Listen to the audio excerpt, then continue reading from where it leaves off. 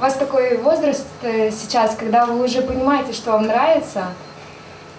И хочу вам пожелать, чтобы вы шли по этому пути э, тот, который вам нравится. Кто-то, может быть, чувствует себя великим спортсменом, кто-то чувствует себя великим писателем. В 324-й школе состоялась очередная встреча с олимпийским медалистом. На этот раз в гости к ученикам пришла Надежда Скордина, обладательница бронзовой медали Олимпиады Сочи-2014 по биатлону.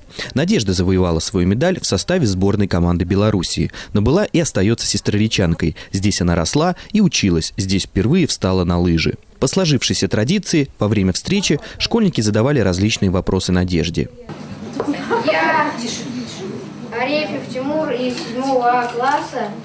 И хочу спросить, есть ли у вас свободное время и как вы его проводите? Когда мы находимся на сборах, это примерно не каждый день, но время от ужина до значит, сна. А, а так э, у нас проходит сбор примерно 20-24 дня, ну, как, когда, и между этими сборами 7 дней у нас есть отдых, э, который мы посвящаем себе, ну или кто-то учится, кто-то едет домой, то есть э, есть. И есть, естественно, отпуск.